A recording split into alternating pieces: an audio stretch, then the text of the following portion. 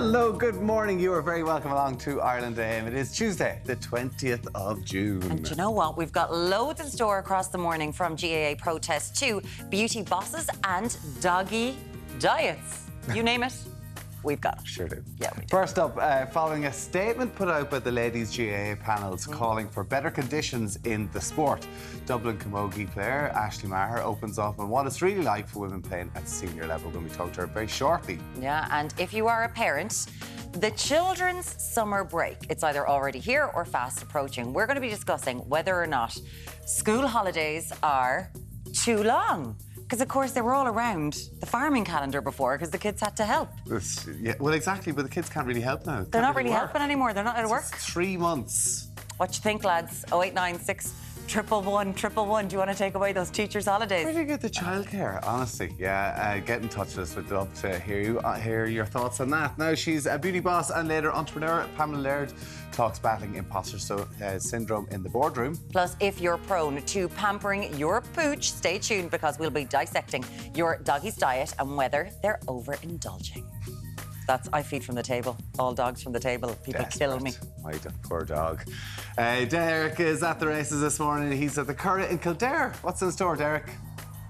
Yes, good morning. Uh, giddy up, guys. We're live down here in County Kildare. What a day we had. Yes, uh, plenty of thundery downpours, bucketing down in some places, and it looks like more of the same on the cards for today, feeding up from the south. But we've landed here on the hallowed turf here in the Curragh in County Kildare. The Dubai Duty Free Irish Derby kicking off here on Sunday, the 2nd of July. So we're going to be taking you on a tour of the grounds. We're going to be mucking out with some of the crew, and hopefully we're going to be giving a simulator a spin. So giddy up, Tabby. Giddy up, word. yes. Tabby, I believe your mom is from this neck of the woods, is she? She is, yeah. My mum's Just not down the far from there. I think actually my cousin has a coffee shop there. I'll put you in touch with them, Deric. Okay, good man.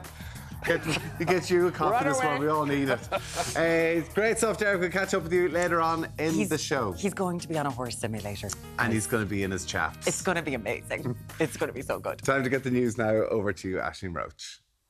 Thanks, Tommy. Good morning. US and Canadian search teams are racing against time to find a tourist submarine that went missing during a dive to the Titanic's wreck on Sunday.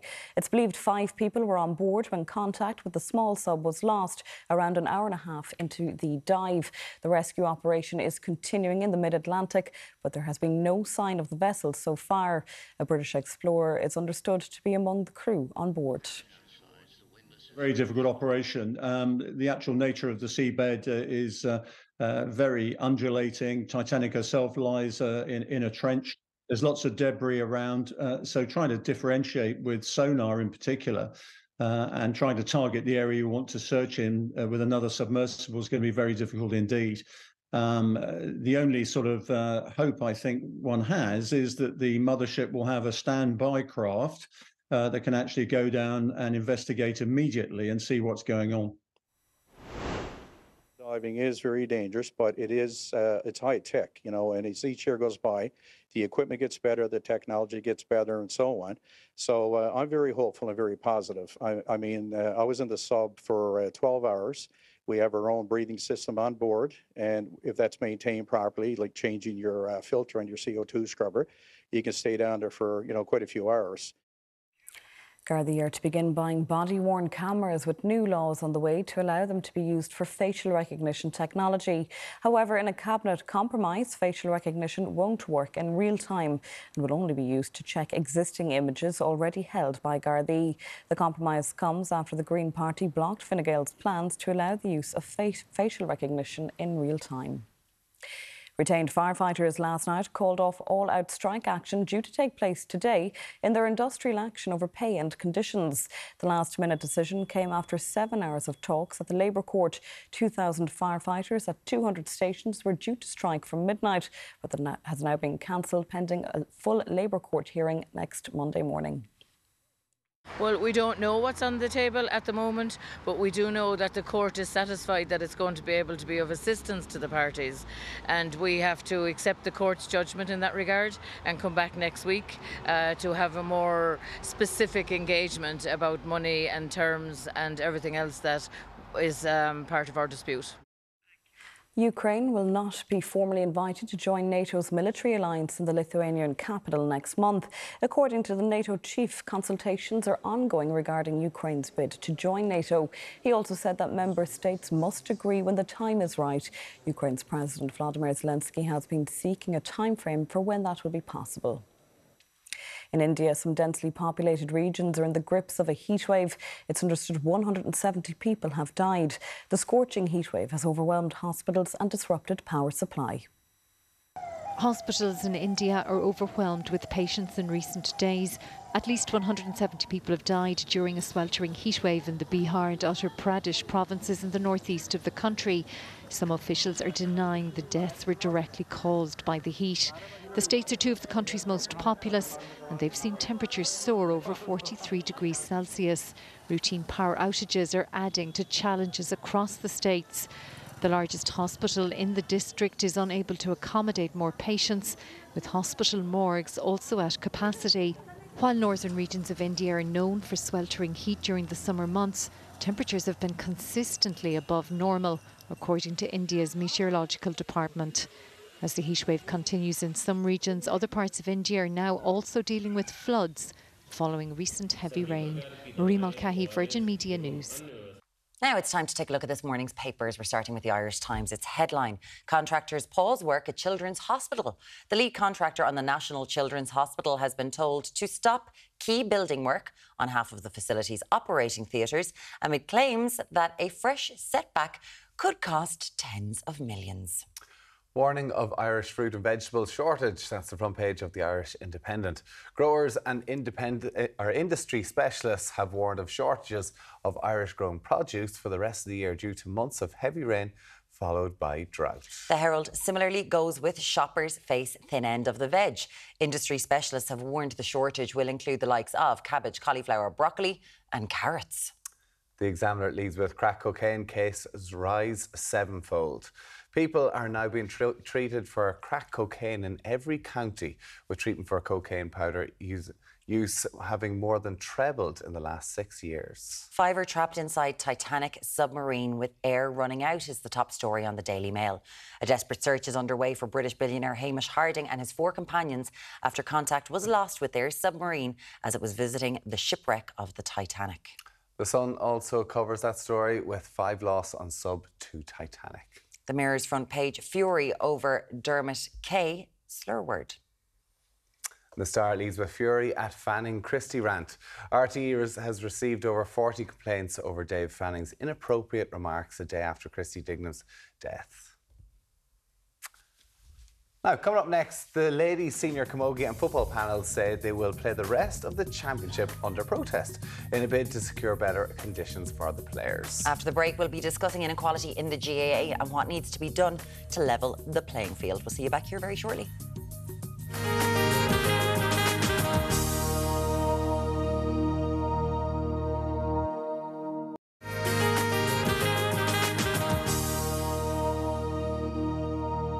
Good morning. You're very welcome back. Now, the ladies' senior inter-county camogie and football panels have said they will play the remainder of the 2023 championship under protest in a move to secure improved conditions for female GAA players. Here to discuss this are journalist and former Kildare camogie player Sinead O'Carroll and Dublin camogie player Aisling Maher. Thank you both so much for being morning. here. A lot was said yesterday, Sinead, about uh, the players just looking for an improvement in conditions and they're going to play the rest of the season under protest. What does that exactly mean and what's it all about?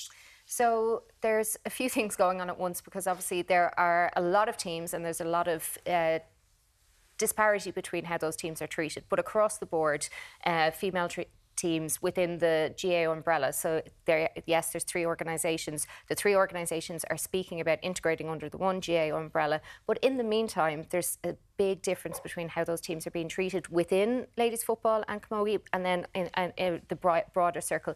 So there's one main thing that the, the teams are asking for is to have a charter of minimum standards drawn up. So what does that look like? Things like making sure that there's access to pitches and dressing rooms in a fashion that allows people to plan their days and their weeks, that there's meals, hot meals after training, that there's a certain level of travel expenses so people can afford to get to yeah. uh, training and matches. Uh, there's access access to doctors and physios. These things that aren't happening. Only, I think, less than 50% of teams have access to a physio at the moment. What does that look like in practicality? You get injured at training and you, you sit there with a, a, a, knee ballooning up and no one telling you what to do, no one with an ice pack, no one with any kind of pain control. What does it look like then when you have to figure out how to get to hospital, how to get to an x-ray? Um, so all these very practical things you finish training, one of the things, if Tommy, you'll obviously know this, one of the things that after training, you're, you know, you're meant to have a hot shower straight away and you're meant to eat food as soon as mm. possible. Mm. If you're in a situation where there's no hot food provided to you and you've no hot shower and you have to get into your car, then you're kind of deciding, okay, which is more important? Do I get home? Do I jump jump in the shower? Do I yeah. eat food first? And then so nothing is optimizing your performance, and that's the stuff that girls so, like are meant to be worried about. I mean, it's pretty ridiculous when you hear all the time about the women's game is growing and it's yeah. brilliant. We're getting the crowds in and everybody's loving it, and we want to get encourage more young girls to take part in the sports. So when you hear this, it's very, very frustrating. But actually, what explain to me what under protest? You're still playing championship matches, but under protest. What does that mean? Yeah, so I suppose the thing is, like, from our perspective, everybody wants to be playing. Nobody wants to be pulling out of games. You know, we spend so much time, energy, effort, commitment to be training. We get to championship season, the last thing we want to be doing is pulling out from games or disrupting the championship in any way. So we're hoping that it won't get to the stage where we have to do that. But I guess we really want to highlight that we aren't happy with the circumstances as they are, and we cannot continue to play championship after championship endlessly waiting for integration under these circumstances. So if we feel that we're not being listened to, if we can't get the Camogie mm. Association, the LGFA and the GAA to sit down and have meaningful conversations about how we're going to improve um, circumstances, then we will elevate that protest. And these are minimum standards that sort of players, you know, junior intermediate teams on, on the men's side, I think they have them, right? And if you're in a county like Limerick after training, you're kind of handy. you will get home fairly handy afterwards. But if you're in a place like Cork or Galway. You could be travelling for hours and hours. This is sort of following on from what the women had to do in rugby and football. Yeah. So yeah. you're it's kind of the same thing. They had to, you know, ask for tracksuits for a place to be able to change before and after matches. It's kind of going, Harriet, we're here, we're elite athletes. Yeah, unfortunately, it is something that we have seen across a number of sports that you know female players just seem to be getting that lesser treatment consistently than the men, um, and it is something that we've seen, I suppose, as a collective that unfortunately sometimes it, it does escalate to this point where you have to bring it to media and you have to kind of attract attention to show just how bad the situation is before you see improvements, um, and they are exactly the kind of things that you're talking about that we are seeing. You know, it's not that we're it's not that we're looking to be professional athletes; they're looking to be paid. Um, unfortunately, we've got to a point where we are seeing girls are reporting from other counties counties that they've got to a point where players are literally stepping away from panels because they can't afford to put petrol or diesel in a car to drive you know home from college in Dublin down to training in Cork to, to go to training and you know that shouldn't be the circumstances yeah. if you're good enough to play senior intercounty you know you should be able to to play mm, Absolutely. We were here a few weeks ago talking about Kildare. Kildare got pulled out of their championship by, by their own county yes. board. Um, and one of the things that the Kildare team said in their statement was, we're not looking for equality. We can't dream of equality yet. We're so far away that we're looking for minimum standards. So I think that's a really important point that i Aisling's saying they're not looking to get paid. They're not looking for to be treated like the Limerick hurlers are being treated or the Kilkenny hurlers are treated because we're so far away from that, especially in certain counties. The certain counties they they should be striving for that equality because they can get closer, but this disparity is huge. So it's the minimum standards that the girls are looking for. So you know, people might be sitting at home and you know, I, I see the, the comments on the internet being like, you know, until the the women get the crowds that men do, they can't be asking for this stuff. Minimum standards that is what we're asking for. So that that's what the, the women are asking for, so that they can continue to build the game and what? that they can make it viable for the, the women who are coming up behind the future. them. So again, like what the Kildare player said, if we don't speak out now, like we're we're leaving yep. a bad situation. So it's really brave and it's really important and it's really complicated. So mm. it's a really tough well, thing to be doing when they should be just training. And, ask and on that about integrating the sport. With the LGFA, the GAA, and the Camogie Association as well. So they're not integrated at the moment. No, no. so obviously GAA was set up as a as a men's organisation, yeah. as, a, as a men's sport, and which I thought was the umbrella. Everything was under that. Then no, no. So they're they're affiliated. So and um, within the club structure. So this is how it gets complicated, Tommy. Okay. Within the club structure, there's a one club model. So a lot of clubs, um, we hope we were talking about this earlier. We hope the vast majority of clubs are one club. So if you join your local, so I join my local Celbridge GAA, you're a member of Celbridge GAA. It doesn't doesn't matter if you play camogie football Yeah. or and then your the standards have to be set across the board. So you know you have access to the same pitches, you have access to the same dressing rooms. You're you're treated as equals. That works incredibly well in most clubs. In my club, I am have always been and and will always be treated the exact same as a senior or an intermediate Yeah. uh, male player. That doesn't happen in a county. There's no one county model, so that's that's where it becomes different. Then, so people who might just play club will say, "Oh well, you know, we're treated the same," but in the county model, it the, the Yeah. three organisations are completely different. The integration is going to be difficult because there's obviously to try and integrate three bodies into one to make sure that you know football and camogie, ladies football and fo- camogie, isn't treated like the second and third sport, third and mm. fourth sport. You don't want to go in and then be treated like the third and fourth sport. So they have to make sure that it's built on equality, which is the statement Yeah. that they've all said that it will be built on equality. And there's complication then. Obviously, there's a lot of board positions, there's a lot of executive positions that need to be figured out, and then all the county boards have to come on board with it. So Yeah. it's not a simple process. So it does make sense that something has to happen while that process goes on. Aisling, I'm just wondering because I just think we've seen the game explode in the last decade, both camogie and women's football. Mm-hmm. And certainly from the point of view, you know, the argument is that the women are playing football in a way that the men used to play. We haven't seen that in like a decade, and, and, and it's such a great spectacle. What is the support like from your male counterparts? Because you do need it. Yeah, no, the support has been brilliant from our male counterparts, to be fair. We amalgamated the WGPA and the GPA, which was effectively the female and the male kind of unions. Yeah. Um, there nearly two years ago, it'll be two years in December. And I think when the vote happened, it was like 98% of the women voted to amalgamate and 99% of the males voted to amalgamate. And that's them knowing that their resources are being shared. And what I think we have to remember is that the males aren't professional players either. Mm-hmm. So it's not as though all of the revenue from the GAA goes into the male salaries and we're looking to now take half of that. That's not the case. You know, I think it's 5% of the turnover of the GAA covers male expenses. The rest of it is there and is available and is being allocated to other things. So, you know, it would be more than enough available for us to just get a small percentage of that to cover well, our and you, and you see the, the profits that the GAA are making. Listen, if your requests aren't heard, Yeah. what will you do? Look, I think we've seen the example set by male players. Obviously, as I said, we don't want to protest. We want to play games. We want the championship to go ahead smoothly. But we've if it seen, that stage. yeah, look, we've seen them do things, delaying the start time of official games by 20 minutes, refusing to do media, you know, covering uh, logos of GAA or Camogie or whatever it might be on shirts. Obviously, we don't want to get to that point, but if we have to act, we will because the time is now. Um, listen, it's been thank you so much for coming in and for telling us what is going on. If you're, you know, involved in the sport, what do you make of all this? 0896 111 111. Not even asking for equality, standards. asking for minimum standards. Aisling Maher Dublin, uh, Camogie captain, thank you so much. And Sinead O'Carroll, you're going to be sticking around with us. Uh, we're going to be chatting news in just a little while.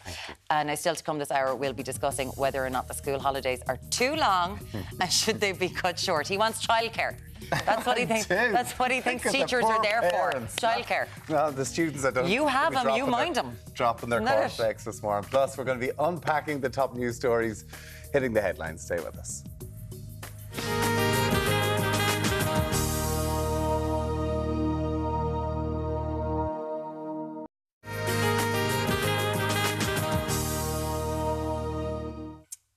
Sorry. You're very welcome back. Secondary school students across the country are now kicking back to enjoy an extra long summer after another busy school year. Very busy school year. Breaks are important. It's all about wellness. But how long is they? too long? We want to talk to you today. Do you think that school holidays are too long? You can text us or you Secondary can. school now. Secondary school. You can text us uh, 0896 111 111 or we're going to put up a poll on screen and you can just scan the QR code and let us know what you think. Joining us to discuss the length of school holidays is teacher and journalist Jennifer Horgan alongside Principal of St Aidan's Community School in Tallaght, Kevin Shortall. Thank you both so much for being here. This is something that has been discussed for years. It comes up every once in a while. And you recently, Jennifer, wrote an article about the length of uh, the school year. What do you make of it? Is it too, is it too short? Is it too short? Yes, in secondary school, I think it is. Yeah. For a variety of reasons. I'm going to be really popular with my students and my fellow teachers. Um, but yeah, I think we should be in line with primary. Um, I think eight weeks is enough. I think it's hard to defend 12 weeks, that extra stretch, for lots of reasons. I mean, it's, it's interesting as a teacher even saying this as well. Like, what Yeah. benefits do you think that the students and teachers and parents of those students could get from a shorter summer holiday, say eight weeks, as opposed to, say, the three months? Well, one of the great things will be that your third years and sixth years will be in exams, right? So they'd be taken off your hands. They'd be doing their state exams. Mm-hmm. So you'd actually have a lot of free time on your timetable. Um, so during the what, what would be your, your class time with those year groups, you'd have time to plan, maybe collaborate with your department. Um, it would be it could be a you know a very productive month for teachers. Um, I think that our year is packed. I think that we have actually really high contact time, even though we have a, a, shorter academic year. So I'd like to slow it down a little bit. You mentioned wellness, um, you know, so I think I think that we could just slow down the pace a little bit during the year, extend the year, um, and yeah, I mean, as I say, I don't think students would initially be too pleased with the idea, but I think you our know, teachers, I know. our teachers, yeah. this was, you know, obviously a school calendar in Ireland years ago was set up around a sort of an agrarian calendar. An awful lot of children had to work on the farm during the summer to get out there, do the hay baling, all that kind of stuff. That's a very, very, very long time ago, Kevin. Do you think that we need to shorten those school holidays for secondary school students to eight weeks from 12? Uh, I, I suppose I'm speaking now as a, a, teacher, a school principal, and a parent. Yeah. And I, I have a, a daughter doing her leaving cert right now in school. Hi, Louise, we're really proud of you. Um, best of luck. Best of luck. Oh, she's, she's doing great, thank God. But um, you, we're making an assumption that the, the school exams, it's just a couple of hundred students in a school hall. But our school has about 25 special centres right the way through the school for students who have a, an additional reader or whatever. So the school is not a place where we could have everybody else in right now. And that's a good thing in a way because what we're doing is we're putting a huge amount of resources into making the exams as comprehensive and as fair for everybody. Yeah. So if we were to have so you exams, couldn't accommodate. you couldn't accommodate, you couldn't accommodate people. having classes. There's an assumption that. as well that there's only a couple of people involved. There's thousands of school staff right the way through the country, travelling around the country, running these exams at the moment. Mm. It's very complicated. So it, it it sounds easy, but it isn't easy to do something along with the exams. They're, they're, they're getting more complicated all the time, and that's a good thing because we're, what we're doing is we're making them more comprehensive. How do other countries do it then? What do you mean? How Other they- countries that have an eight-week period where they run the exams at the same time as the final month of the school. Mm, Well, there are different forms of assessment around the world. Yeah. Yeah. So again, error. it's a little bit like training for a, a let's say a boxing match. We've kind of found a sweet spot here in Ireland where we we, we run our program right up to the end. But, uh, and we've, Jennifer- we've done it we've, we've done it over years and years and years and found that kind of that way of doing things. I'm not saying it's the be all and end all, but that's the way we do it here. But Jennifer did say there that the school year and the academic year is packed. Mm-hmm. I think we have been hearing that for a very long time. There is stress on teachers to try to get that curriculum finished every single year. Mm-hmm. So, from your point of view, you're like, if we could just give people that extra few weeks rather than overwhelming everyone, right? Yeah, and I actually uh, very interesting uh, what Kevin's saying there about um, space and facilities, and I think underlying the Irish education system is a lack of funding, and that's what we're coming up against. So I think you're right, Kevin. I think most schools, my school couldn't do it, couldn't have kids in because we don't have a school. Yeah. We're waiting seven years for a school. So I suppose I am speaking very aspirationally, but I think for th- the well-being of young students, like 12, I have a near 13-year-old at home. It is so hard to keep him off the screen. I'm sorry. I'm sure there are plenty of parents who will who will relate. And actually, three months, it's a tough, it's it's a real challenge. You know, now I'm lucky because I'm a teacher, so I'm off, Yeah. so I can be there for him. But two parents working, a 12, 13, 14 year old at home, I would be worried for their their their well-being. It would be so easy, of course, when they're home and they don't maybe have somebody there constantly watching them. It's so easy to just let them go to their room and go on their computers. And it's well-being that, like, and the, the mental health side of things in school is so so important now. And whenever you're talking about the packed calendar, teachers are struggling to give students that individual attention all the time. You know, is there something to say that a stretched out uh, school year might give a bit more personal attention? Yes, but I think that the tension to get the curriculum done is a curricular problem rather than a time problem. Okay. So, in other words, students learn at a different pace. But when you differentiate, when you're trying to bring everybody along, like years ago, they'd say, the teachers say, I taught to, so one person got an A, and therefore I taught to that level. Whereas that's not the point of what we do anymore. It's about getting everybody to a place where they experience success. And that's not about the time. I mean, around the world now, we're looking at models where people are going to a four day week and productivity is going up. Yeah. So more time doesn't mean better results, and better results doesn't mean better quality. You Yeah. know, we're looking at well-being, so we're looking at a situation where students experience success, and that's the most important thing. And bringing them in for longer or doing more doesn't mean that will happen. And that is very interesting. And we are teaching in a different way. And we don't want it to be rote learning as it Mm. was for so long that you can just regurgitate facts on a page without understanding anything. But Jennifer, I'm just wondering because 10 years ago, 15 years ago, being a teacher was a really attractive job. You know, you could afford to have a family, you could afford to get a mortgage, you could afford to have a life, go on holidays.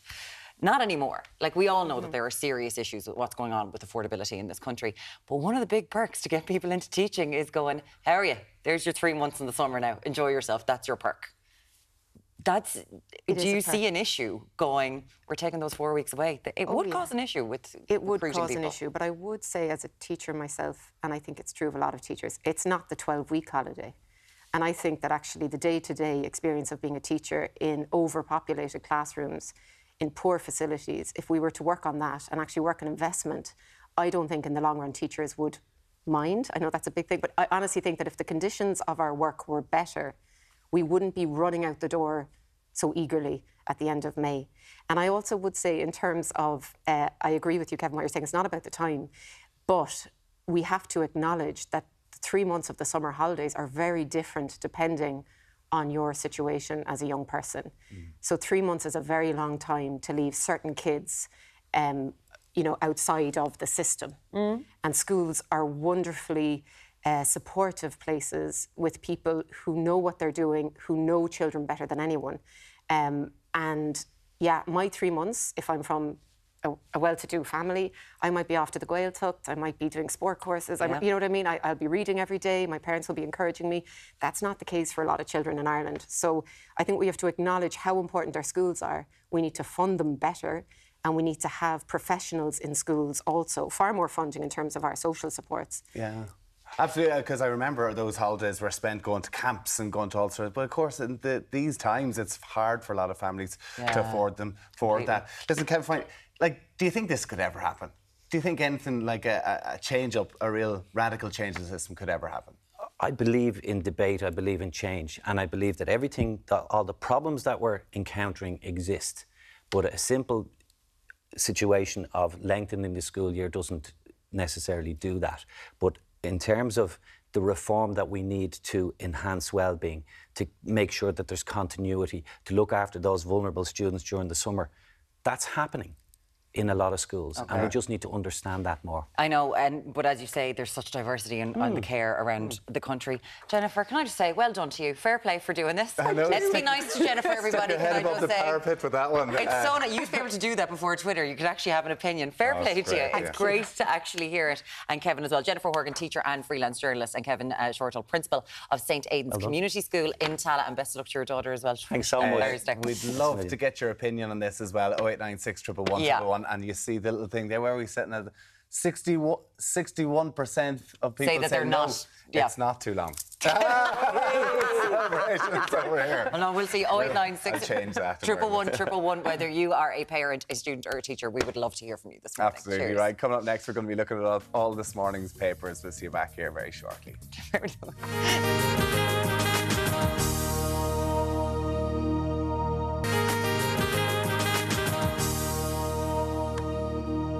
Hello, welcome back to Ireland AM. Now, crack cocaine cases, they have risen sevenfold.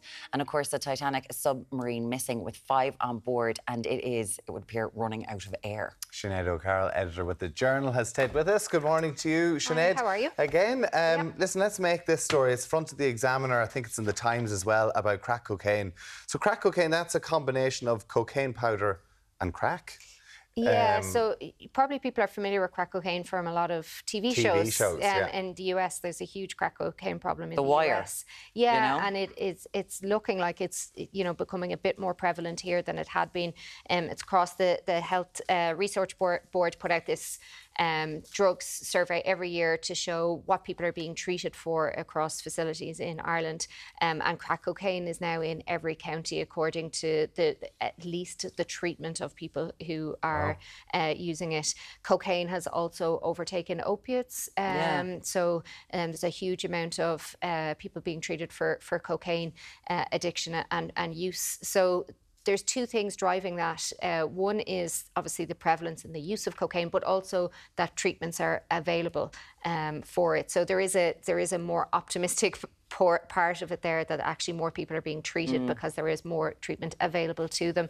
Um, and yeah, so it gives us a snapshot of what what drug use and what treatment is being uh, used across the country. One of the statistics, I picked out: seventy-two percent of uh, people being treated for for it are men. So it is it's very there's there's not a balance there. It? It's Yeah. a, it's a, a big disparity between uh, uh, men and women, and yeah, cocaine overtaking opiates is, is a big one too. Professor Colin O'Gara, he's clinical lead of addiction services at St John of God Hospital. Uh, he was talking, I think it was back in March, and he was saying that the cocaine issue is particularly prevalent now. You think of it as an urban issue, and he was like, no, no, it's huge issue with farmers and men in their 50s and 60s.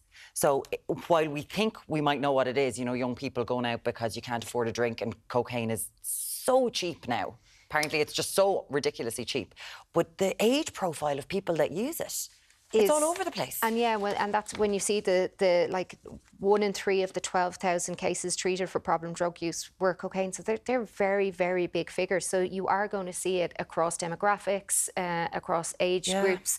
Um, but there is that you know there is a twenty five to thirty four year old. There it is very prevalent in in that group, it, particularly with men. It does say the vast majority of crack cocaine, though, is all in Dublin. It's actually quadrupled Cocaine, yeah. from 500 to 2,000, which is Yeah, quite the cases insane are kind well. of in, Yeah. in double or single figures in other counties, whereas up to 750. And again, Massive. that's people being treated. So there's a lot of people using crack cocaine who aren't being treated. So that's another kind of layer of the issue as well. But even just the like the I remember I was walking up a street in Dublin and it was a burger joint and there was three lads in the window and they were all having cocaine with their burgers. I was like, and there's just it's not hidden. No, it's It's, not, hidden anymore. And like what you were saying about the young lads and the drink thing, that is that is one of the reasons that people are, you know, taking cocaine instead of taking alcohol because you know you Cost. The cost and also the idea of wellness and it being better for your body than alcohol is. Yeah. is. so that's been a big change. I think you know the, the stats from 2016 is like an explosion in con- cocaine use, like is is huge. Again, we'd love to hear from you at home on this. Uh, you know, are you seeing the rise in this? Like Yeah. Warren's saying, you're seeing it actually openly being, you know, used on the streets. Yep. We'd love to know 896 111 Now, there's another big story. It's front of the a lot of the papers this morning. It's top of the news as well about this submersible carrying five people to try and see the Titanic. Yeah, there's kind of been global wall to wall coverage of this because OceanGate Expeditions had been hoping to put this submersible vessel down to go into the Titanic uh, wreckage and explore. And they had five people who um, had decided to, to go with them. There was a, a very brief weather window that one of the men who was going on the expedition said so that they could go down and do the diving uh, expedition. But they lost uh, contact with the submersible um, very quickly into into the journey. They have 96 hours from when that happened to, t- Wow. for for them to to find them. So it's a real race against the clock. We think we're at the end of um, that. That is grim. And from reports, there probably was a ping um, near the Titanic wreckage, but Okay.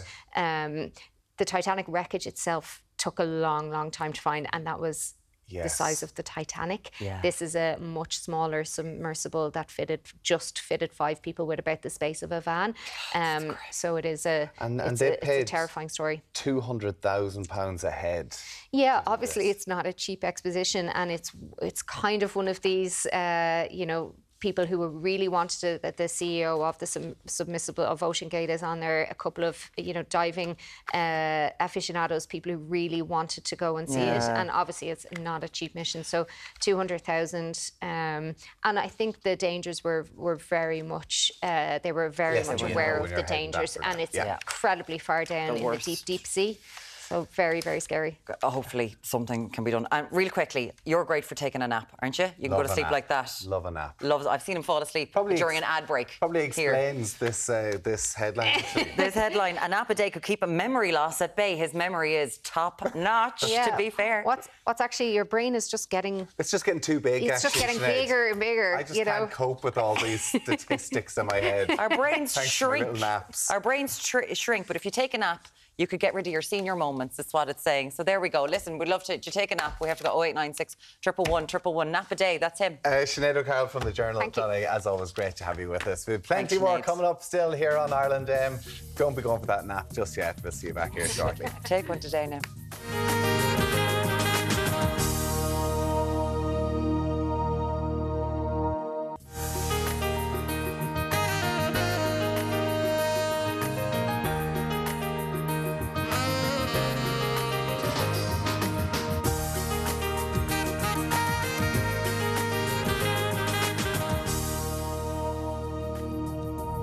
Welcome back to Tuesday's Ireland AM. Coming up shortly, we're going to be discussing public harassment and how we react to it and what someone can do as a bystander. Uh, the because there's fight and flight. That's what it- you thought it was. Yeah, And so- then there's actually five Fs now. I think. Yeah, as yeah, well. yeah. Fight, flight, freeze, fawn. There's loads of different things uh, that you can react in a certain way if someone says something to you or perhaps touches you without your consent. We're going to chat about it Really, just a little really while. interesting. Yeah. Yeah. we're going to be discussing that very shortly. Also on the way after nine, we're going to be chatting about the business of beauty with entrepreneur Pamela Laird. Big business. Later this hour, the Skin Nerd will be here to help with post-holiday skin problems. Put Well, on that don't need them yet. sunscreen. Put on that We don't need them. sunscreen. Uh, from choosing the right food for your four-legged friend to the best treats to reward their tricks, we're going to get a lesson on healthy diets for our dogs. And our vet will be on hand to answer your dog-related questions. So do send them in to us on 0896 111 111. What dog biscuits do you use? what treats? No, but you might have an issue with your dog. Bonnie's as good as gold, isn't she? She's an absolute devil. Does, does she Yeah. do tricks? Uh, she sits. Well whenever done, Bonnie. her. That's the She's too of it. beautiful to have to do anything over. else. That's and it. She tells me where to go. Our queen of baking, Catherine Leyden, is in the kitchen. Catherine, what are you whipping up for us today? I'm making a basic egg sponge. I've just taken this one out of the oven and we want it cold enough at um, half eight when I come up. Yeah. And I'm going to convert this basic egg sponge here into a chocolate mandarin layer cake. Oh, you're Now, going to convert. How, how, okay, right. Going to get planning permission. Sequence, sequence, two tips coming up. Okay, lots of tips coming up. Okay, very good. Looks very, very tasty. Perfect, nice cup of tea. Now, Deric is at the Curragh Racecourse this morning, Kildare. How are we shaping up, Deric? Uh, well, Tommy, look, we're hard at it. We're mucking out here in the stables. Uh, Dick Barbizon is with us. Uh, Dick, tell us about the horse here. Oh, this is Grigal. She was second up the Curragh one day. Uh, we hope she go closer to than second someday. Um, and, and tell me, are you looking forward to the uh, the Dubai Duty Free Irish Derby? Oh yeah, it's going to be a hell of a race this year. Like the first, the third, the fourth from Epsom are all coming. Are all And, coming, yeah. So we've a I lot of we've a lot of runners, a lot of riders. Yeah, it's it's it's. I don't remember. I can't remember when there was such a competitive race. All it's going to be okay. a great well, event. Lots more to come here from the car right across the moor. And look, lads, I've a lovely bit of fertiliser here for you, Tommy, for the Look garden. at that, yeah. Will I Mucking send some out. back? Mucking out. Mucking out he is this morning. Fair play to you, Deric. See him the hand on the hip. What's going on there now? Let's talk about the horse Oh, racing. better man to give it a good sweep. Fair play to you. We compare 14 insurance quotes to get you the best deal. So choose chill and work smarter, not harder.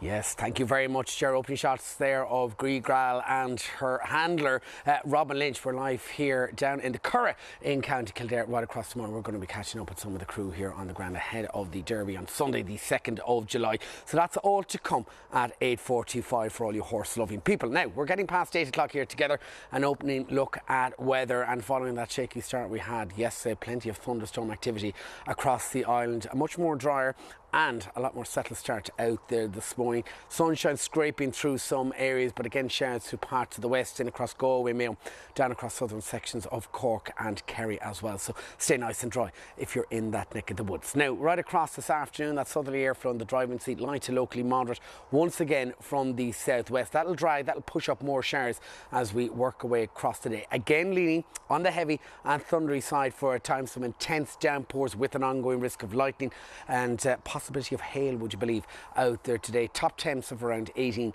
to 22 degrees. And finally into tonight, those showers mainly confined across northern and western coasts. Elsewhere, it will clear out. It's very similar to last night. We're going to see some patchy mist, a taster of coastal fog as well as we work our way into your Wednesday morning with overnight lows back to 8 to 13 degrees. So that's how we're shaping up for now. We'll be back again live at 8.35. Hello, time now to take a look at this morning's papers. We're going to start with the Irish Times. Its headline Contractors pause work at Children's Hospital. The lead contractor on the National Children's Hospital has been told to stop key building work on half of the facility's operating theatres amid claims that a fresh setback could cost tens of millions. Warning of Irish fruit and veg shortage. That's the front page of the Irish Independent. Growers and industry specialists have warned of shortages of Irish grown produce for the rest of the year due to months of heavy rain followed by drought. The Herald similarly goes with shoppers face thin end of the veg and reports that the shortage will include the likes of cabbage, cauliflower, broccoli, and carrots. The Examiner leads with crack cocaine cases rise sevenfold. People are now being treated for crack cocaine in every county, with treatment for cocaine powder uh, power use being having more than trebled in the last six years. Five are trapped inside Titanic submarine with air running out. That's the top story on the Daily Mail. A desperate search is underway for British billionaire Hamish Harding and his four companions after contact was lost with their submarine as it was visiting the shipwreck of the Titanic. Sun also covers that story with five lost on sub to Titanic. The Mirror goes with fury over Dermot K. word slur. And the Star leads with fury over Fanning. Christy Rant. RTÉ has received over 40 complaints over Dave Fanning's inappropriate remarks a day after Christy Dignam's death. Now, we were speaking earlier on about uh, what's going on with the LGFA and the fact that the women in both camogie and football are going to be playing under protest for the rest Mm-hmm. of the season because they're looking for bare minimum standards like access to a doctor should they get injured. Access to pitches. Access to a pitch that they could train on. And that's what uh, we just heard. Ashley was just saying that if the men's senior team are away training or at a match, whatever else, then the women think that they might be able to use the pitch, but then the under 20s might come in, the intermediates might come in. So, and they're so far down the pecking order. And it's just trying to have that sort of rota that, you know, if you want to try and play at the top level, And they are playing at the top level, they just have none of the supports. Uh, I play football in Westmeath, and we are constantly treated as second class citizens compared to men. I've been playing on that team for the last 10 years, and absolutely nothing has changed. And the GAA is built on both men and women. Like, it's as simple as that. Well, why don't we start dropping the ladies and ladies football? We don't call it men's football or men's hurling. There's no difference. We all play football. Yep. And also the fact that it is still called ladies, you know, the LGFA and stuff, it's weird. Well, that's it, because I called it ladies, where you're saying like that's it should what be it's women, called. Should be women's. Well, I'd call it women's, but technically the name is ladies, you know? Um, we were also talking as well about the summer holidays for secondary school students and teachers. Are they too long? And asking whether it should be the same as the primary schools, which is eight, Eight weeks, but at the moment it's. And, and, and when you think about it, if you have a 12 year old, 13, 14 year old, yeah, and you can't be watching them all the time, they're just going to be on their phones a lot yeah, of the time through the summer. Yeah, but could they be the doing babysitting or something? But they're not. They're not allowed to work, are they? But they're not. You can babysit. Surely there's someone who Um, needs a bit we have a message in here saying definitely too long. My daughter is first year and off for three months. I'm originally from Scotland, and both primary and secondary schools are off for six weeks from the last week in June and return in mid-August. Uh, summer holidays in primary school are not long enough. Like the saying goes, you only get 18 summers with your child. Make the most of these. But I suppose we live in a country where most parents have to work. Well, and that's it. Like I, we struggle with just childcare. What do you do with your kids? How do you look get them looked after? Summer holidays in primary, not long. Uh, sorry, no. I've worked in media uh, prior to becoming a teacher, and teaching is by far the most stressful job I've ever had. I suppose we work in media. Yeah, teaching is definitely more much. stressful than this. Uh, teachers are an absolute burnout by the time the holidays come around. Yeah, the yes, the holidays are too long for secondary school, especially as teenagers can't work until they're 16 or now too old for summer camps. Uh, they should have six weeks like they have in the UK, and it's not being able to work. Like we could all work when we were younger. You can't yeah, work exactly. now. I know. You know? Uh, interesting to see there at the minute, 39% of people only said that yes, they are too long. So Yeah. uh, do keep those messages coming in, scan the QR code, and let us know what you think. Uh, we'll be back with you in Ireland Day very shortly.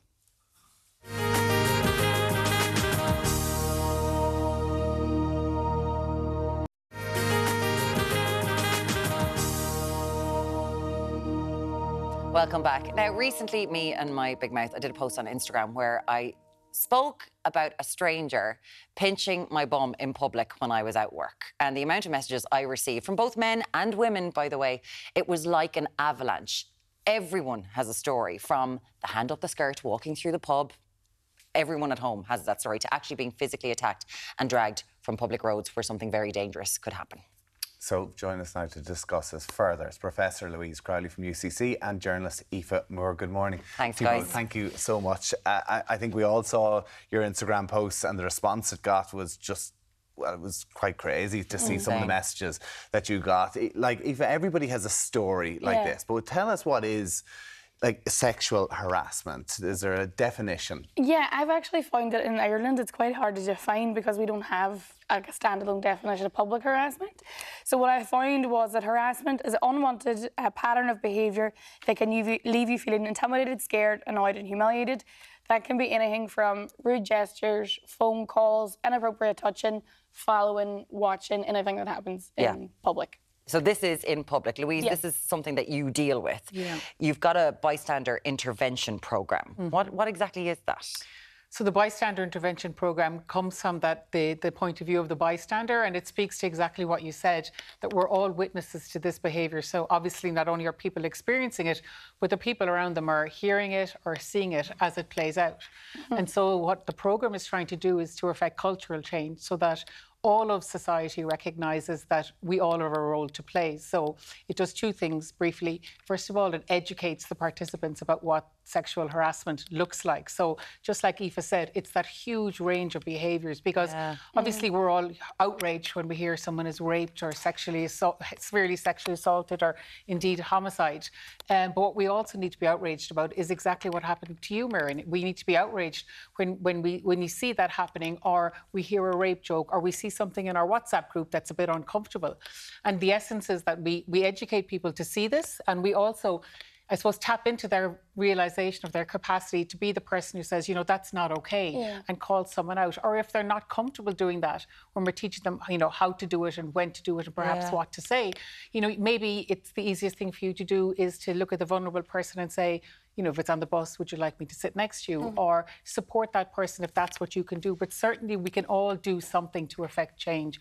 We, we can insist on I suppose, raising the threshold of acceptable behaviour so that when that happened to you, not only it's important that you recognise that it's sexual harassment because, you know, the normalisation of this type of behaviour means, you know, oh, that's that's what happens. Like students say to me, oh, Louise, I was in a nightclub and I was groped. But sure, of course I was groped. I was in a nightclub. Yeah. And that's where the danger lies because we stop seeing it. And if we stop seeing it, well, then we're not going to make an intervention. See, I didn't. Like, I got Mm. an, so there was a group of us there, and we all kind of just fro. We assumed that we knew the person, that it was a joke, and we started Yeah. laughing along, going, "Oh, it must be something." Like I, you know, I thought it could have been you or Alan or anything like that, and it would have Oh, been grand. Tommy. No, but you know what I mean. bum, but that's okay. It's not a stranger, is If you knew Can we just say that's not okay? that's not okay. But I got home to my partner, and he was angry. Yeah. He was like, if you don't say anything, if you don't do anything, if you just go, this isn't a big deal, it doesn't matter, that means that it's just acceptable. I think That's what got to him. I think as well because you didn't react, the other people thought maybe they shouldn't react as well. I always think that's the thing that happens. Like if you're you seem okay with it, the other people then don't want to cause a scene as mm-hmm. well. But that's it the- why we should be doing it. Like I was at a festival at the weekend, and there was a girl standing behind me in the bar and uh, in the queue for the bar, and she just turned to me, and I knew by the look in her face that the fella behind her was annoying her in some way. And I just said, Do you want to go in front of me and I'll stand behind you? And it's just that kind of knowing as girl to girl. That look. the That's look. exactly it. So, yeah. because you, what's interesting, because you have, if you're in those uncomfortable circumstances and situations, you kind of think fight or flight. But you were saying that you just froze and everybody froze. Mhm. Yeah, And even I- the person behind you didn't, She didn't do say anything. anything to him. She just looked at me and I pulled her out of the way. So, are there other sides to this then that people should be aware of and understand? Because you don't know how you're going to react in an uncomfortable situation. So if you're if you're the vulnerable person, Yeah. it is all of those things that you mentioned: the fight, the flight, and the fight, and the freeze. Mhm. You know, and sometimes the freeze and the silence that comes with that could be perceived to be acceptance. You Yeah. know, so I mean, it is a difficult one to call whether somebody actually wants your help. So now you can catch the eye. You can say, "Do you want to go to the loo?" I mean, it can be very as simple as that. So when I say intervention, I don't mean you know kung fu fighting, jump in and sort it out. It can be removal, distraction, interruption, or just you know letting them know you see what's happening, and that in itself is an acknowledgement of of the unacceptability of it. It, yeah, I was just annoyed with myself when I'm like, what, you know, I'm middle aged. What's happening to younger people? Because Mhm. the, the the stories of you know women's boobs being touched Yeah. Mhm. when they're sitting on a bus, Yes, Yeah. yeah. walking through pubs, and we all have this when we were in our twenties and we did nothing about it. Walk and that against was, the wall. But You have to walk against the wall, but you've got a skirt on, and a hand goes up your skirt. Yeah. It goes inside your underwear, Yeah. and it was just like, oh, did that happen to you tonight? Yeah. Like we've this has been Yeah. going on for decades, And- Louise, and it's yeah. like we're accepting of going, oh, Yeah, that's just going to yeah. happen to you. So a couple of things on that. So when you said nothing until your partner said that's not okay, I mean it's really important that we all know that's not okay. So not only when it happens to you, you realise that's a violation immediately, but the people around you also need to know that it's not okay and they need to speak up. And you know that is really important. And what I would say is, and you know, it's not that. Uh, it, okay, I suppose the majority of victims are women. It's important we recognise that. The stats are there. But the other flip side of that is that when I started the training, the only negative feedback I got back in 2016 was some of the male students saying, "Ah, this is very anti-men." So I realised how important the narrative was. So now we very expressly emphasise that most men are hugely are very respectful. Yeah. But what I think is important to emphasise is that most men don't quite realise their capacity to step in, their capacity to say, uh, Tommy, you know, that's a bit not on." inappropriate. Or Yeah. Tommy, you know, maybe the, the morning after, you know what you did last night? Like, that's really not okay. She was very drunk, or whatever the situation Yeah. might be. And I think that peer calling out, lads saying to each other, you know, that's not okay. You're in a WhatsApp group. There's one Yeah. particular guy sending very inappropriate images, and nobody's saying anything. Yeah. And that's Yeah. really difficult. So, what do you do? My advice Tommy, you speak to Fred, and Fred, you say, "Gosh, I think that's a bit odd." And Fred says, "I thought that too, but I said if, if I said something that I might get kicked out." But you you get your allies, mm. and you realise it's not okay, and then that voice becomes loud, and it shrinks the voice of the perpetrators, and suddenly they're othered because what my program tries to do, I teach you know full groups. I, I teach you know we're with UCC Rugby, And are there UCC men in there? Soccer, Okay, yeah, yes, okay. UCC GAA. I'm running a pilot with Cork GAA locally with clubs, um, and what happens is that when you get those people in a room and you demonstrate the impact of what they think might be a bit of crack, but they realise what it's like to walk in the shoes of the person, you would be amazed to watch them grow into allies. It's actually fabulous. yeah. And one other key thing is that I- I'm in 50 secondary schools across the country. I have a pilot TY program. And one really intriguing thing was a group of boys told their teacher that they thought sexual harassment had to be physical Okay. to matter. They never realize the danger and the damage of their words. And you know, and so that is so critical. So for me as, as an educator, the information is what we need to build on, but it's societal learning experience. One or two of us won't crack it. Yeah. We need everybody to realize that they have a role to play. And if you allow it, you know, if you if you permit something, in essence you're promoting it. If you see something troublesome and you walk on by, I hate to say it, but I firmly believe you're part of the problem. So let's mm. not be part of the problem, but let's be the solution. And I particularly call on men to realize that we don't think hashtag you know, not all men, all that stuff. What I do think is hashtag yes, all men. Speak up, say it's All not men okay. are in a WhatsApp group or in a, um, in a, a Absolutely. situation with friends, and you can Yeah. easily say to them, "Listen, Yeah. don't do that." And you know what you're doing? Mm. Sorry, Aoife, you're uh-huh. you're you're kind of drawing a line, and then things won't escalate Mhm. because otherwise there's a sense of permission that that's okay. I'll do it again, and Yeah. if you're so inclined, it'll escalate. Yeah. Yeah, and I think we fellas, especially, like some of my mates said, you know, when they were calling stuff out about like horrible memes or whatever it was, uh, their mates were calling them the fun police. They were like, "Oh, you're no crack at all." And I was Yeah. like, "I'd rather be no crack than be sexist and Yeah, offensive." but also we don't get the joke. You know, if a woman, if a Yeah. fella touches a woman's boob, it's like, oh God, oh she's mine is crack. Calm down. I would say as well, even from like a male point of view, we all worked in my dad's pub growing up, and there was an older crowd um, that drank in there on a Saturday night, and my wee brother was like 20, 21, and he's a very handsome young man was a rugby player at the time, and the amount of women in their 40s and 50s who used to pinch his arse Yeah. and you grab him as he's Yeah. walking past, and I think that really showed him, even though it was a really horrible experience, that it's absolutely not all right. Like he, I remember him saying, "It makes me really uncomfortable," and they think it's funny. Yeah, and that's Yeah. when it, it's so funny the messages I got from fellas going, "Oh God," when and it seemed to be older women to Yeah. younger men doing it, and they were like, "I feel re- like it really Oh, makes me Like so it does- it does happen to guys. Because- Of course it does. Yeah, because one Absolutely. of, one of um, what happened one night to my wee brother when my ma was in the pub. Yeah. And my brother had to say to my mum, like, don't go over and say anything because my ma was raging. crazy. Yeah. Because she couldn't believe people would do that. It's It it's is just so it's really interesting what you're doing. Just this conversation of being Yeah. like, let's just make it a nicer place and not be like you're no crack if you don't let someone touch your body and you don't want them to. But the good news is there's huge appetite for it. So not only am I in third level across the country and some second level schools, but organisations. So uh, sporting clubs are coming to me. I'm working with the Law Society, the Irish Medical Organisation, the arts sector. They Brilliant. all want to be part of What the you're saying, even as well, that that it's it's not all physical as well as verbal, the whole side of it as well. Listen, we'd love to hear from this as well. 0896 111 111 as well. Even more great to have you with us as Thanks always. so and of course. Louise Crowley, law lecturer at UCC, and it is called the Bystander Intervention Programme. Well done to you for think that. it's, uh, a good thing Hope for your the place. leg is okay.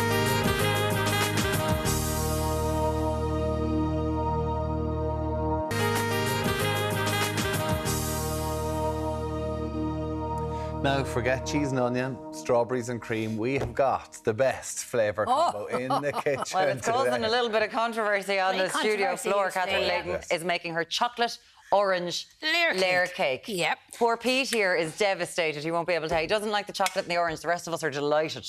Absolutely. Now, Yeah, in here I have it. three egg whites, separated the eggs, three egg whites. To that, we're going to add a pinch of salt, good pinch of salt, and we're going to stiffly beat the egg whites, okay?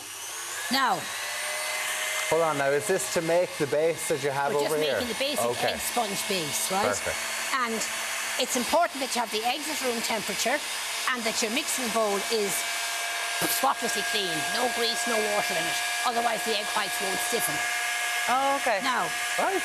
They're starting to beat to come together. So we're going to add to that then 75 grams, that's three ounces of our caster sugar. And I'm going to add the egg yolks in a moment. Now, meanwhile, we're going to start cutting this in three. We're going to get three layers out of it. So it'll be as accurate as we can here. And we're going to sandwich the three layers together.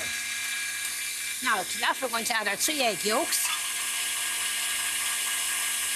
So, why did you separate the egg whites and the egg you yolks? get the mixture prepared a lot quicker. Making And- an egg sponge, you have to beat the eggs and sugar together until the trail of the beaters remain on top. And that can take, particularly with a hand mixer, Yeah. that takes a lot longer to do. And if But- you put the full egg in, it just wouldn't be the same, no. Oh, it would be the same, but it'd take longer. Take longer. Okay, right. Much quicker this way. Right. Now, there you see it starting to come together. It's taking a while this way as well, isn't it? No, it's not taking that long. Go away out of that. Now, I'm going to start by just putting some butter icing that I've made here on Okay. this here. And it's always important when you're sandwiching a cake that you put a thinner layer of your icing on both sides. Because, we'll come back to that in a moment. I nearly lifted it before I. Oh, poured that, that would have been good. Epic. Oh, can you imagine? Is that the consistency? That's the Let's consistency. have a look. How, Trail of the beaters remain on top. is this where you do the figure of eight? No. That's exactly it, yeah. Oh, Tommy. I'm Best very boy. impressed. Are Thank you you very much. impressed? I'm That's very right. impressed myself. Now, boy. to that, we're going His to add the is shooting flour. naps. The- And I generally, again, 75 grams, three ounces. I generally put half the flour in first of all. Now, it's important that you fold the flour through with a large spoon. So you cut through the mixture. And the reason we're folding it is, of course, to prevent any of the air escaping. Okay. So there we have the first half added. Now we're going to add optional, but Yeah, a bit of orange. few drops of orange essence. Lovely. Now, Brilliant. and then we're going to fold in the remainder of the flour. And then I'm going to transfer it to a Swiss roll tin that I've lined with greaseproof paper. So why a metal spoon and not say a spatula or whatever? Because, it, well, you can use a spatula as well. Oh, right. Something that has an edge on it. Okay. Because you've got to cut through it. Okay. So you don't allow that air that we've beaten in there for a long time we're in. Okay, you need to to escape. air in there. Okay? So just gently cut through the mixture. And the larger the spoon you use, of course, and the larger the bowl you use, the quicker you get the mixture Lovely. folded through. There we now go. we just transfer that to the prepared tin. And you line the tin with your greaseproof paper and you bring the paper up about half an inch above the edge of the tin. That's to prevent the edges from scorching. Okay. Now we just pour that through And fire and it on. Do you ba- you don't do baking no? So- I, u- I can bake. I use bake. Did you? Yeah. What Yeah. was your specialty? Buns. Uh, buns, good. Very good, well done. Just normal old buns, not muffins, not anything fancy. Just a buns. buns, Just put a bit of icing on top. Bit of icing on the top. spread that in the Love it. tin and put it into a preheated oven, 200 centigrade, 400 Fahrenheit, gas mark 6, for about 10 to 15 minutes, depending on your oven. Another small tip just tap it twice or three times on the border of the table before you put it in. That's to burst any air bubbles. So that'll take about 12, 12 minutes, about, okay? Okay. Okay. Now we just layer the cake, So that, is that chocolate butter icing? chocolate butter icing, Okay. yep. Can I can I cut a slice, Catherine? Do, of course. Awesome. Get it up Yeah. there for yourself. Oh, look at this one. So it's actually it's melted a bit in here because it's, melting so with warm. the heat. I'm melting myself, Tommy. Oh, I know it is This roasted. stage. Now,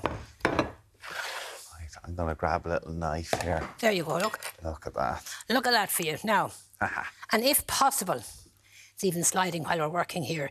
If possible, put a, cu- an uncut side at each side of the cake, as you see. Oh, yeah, yeah, okay. So you've got the bottom Because that's it. I actually thought it was chocolate sponge you'd made, but obviously No. you've covered it all. Let's have a look It's here. a bit much with the um, with just the chocolate, with all chocolate. Now, Oh, we're going to do all four sides Oh, yeah, good man. with the butter icing. Have you got two plates there, Tommy? Oh, for I yourself? haven't do. Don't you worry about us. And have you got your forks to taste? Oh, we're flying. Don't you keep going. Turn You're playing. there. Catherine. You're playing an absolute blinder, Catherine. Well Turn done. it We're there not doing they see anything. it. Oh, I know. Hey, look at Side. that. You're going to sneak some of this Yum. from this here. So you just kind of build it up and covered in chocolate. It's Covered in chocolate, basically, and then dip it in some chocolate vermicelli. Sorry. Make it time to Chocolate get this what? done. Some what? Chocolate strands or chocolate vermicelli, as it's called. I'll show you What's what that now? like now Oh, it's minute. this. The sides. Oh, the piping kind of thing. Yeah. Is it? Not the piping, no, the stuff on the sides. I'll show you now. We're nearly there. So here we have our. Are they the little like hundreds of thousands things? Yes, except they're in Ah, chocolate. Ah, yes. My kids love them. Now, turn that out. Spread the So they're chocolate on top. choc- chocolate vermicelli. Vermicelli, yeah. Now we're going you to go, just now. grip the cake and tip it onto the chocolate. So no matter how bad it is, you just cover it all in. Like if I was to make this and it was rubbish, Didn't work out too well. You can do this, Tommy. and I yeah? covered it in vermicelli and no one tell the difference. No. Genius. And then you put lovely mandarin on the top. And then you just finish it off. Put that aside for a minute with some mandarin orange segments, chocolate butter icing first, and then, or you can put the chocolate straight down on it if you wish. Oh, yeah. See? Put the oranges down straight on it. I'm just going to pipe around the edge. Ah, you're very fancy. Look at that. Now, you don't have to do this, but it does improve the appearance, doesn't it? Oh, it does. Well, we've got the done one here that looks lovely. And there we Look, go. and here's the finished version. Now look at the finished version Right now. there. Just put that on that. Delicious, delicious, You like it? delicious. Catherine Good. Leyden, it's absolutely good. I love the sponge. It's so soft. Isn't it lovely So and light? light. Yep. Um, Catherine Leyden, Catherine. My pleasure. Enjoy. as always, delicious. Cheers. Now, after the break, the Skin Nerd is going to be here to share some post-holiday skincare. Look at that. Just what we need. Coming up uh, after uh, this short break.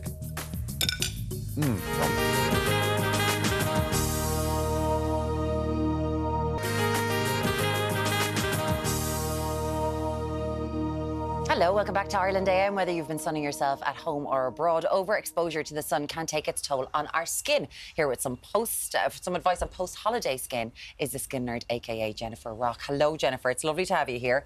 Um, holidays, sun exposure, obviously, it does affect our skin, right? Absolutely. Do you know, but you have to enjoy your holiday. You have to look forward to it. I think we all tend to know that you exfoliate yourself before you go on holiday. You need your SPF all year round. But definitely whilst on holiday, what you do when you come home and your skin is feeling tired, lethargic, pigmentation might become a reality.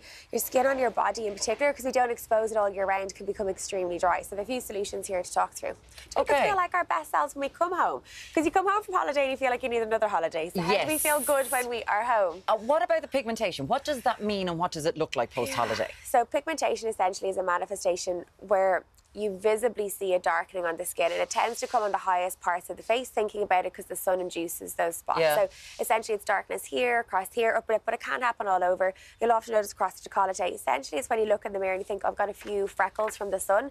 That typically is pigmentation. So it starts off quite nice and delicate and little kind of soft aesthetically pleasing freckles and then over the years because damage of pigmentation can take up to 20 years to truly come through. So me now heading towards 40 it's damage that i had when i was in my late teens to 20s so it doesn't come Oh. up immediately so don't you know it really is about trying to ensure that you protect against further pigmentation and repair the past but it can make you feel a little bit disheartened in yourself because it can look people describe it like dirty or coffee stained because it looks what we describe as mottled Yeah. so it kind it's just essentially why people tend to lean on foundation is they want to even it out so pigmentation is a true frustration post holiday Is there something we can do to treat it? so the, the first and most important thing genuinely is SPF. Yeah. So if you're looking in the mirror and you feel that your skin looks slightly discoloured, a little bit sun-kissed as people like to call it, or freckled all over, and they're not freckles that you're genetically born with, these are sun damage that have happened over years.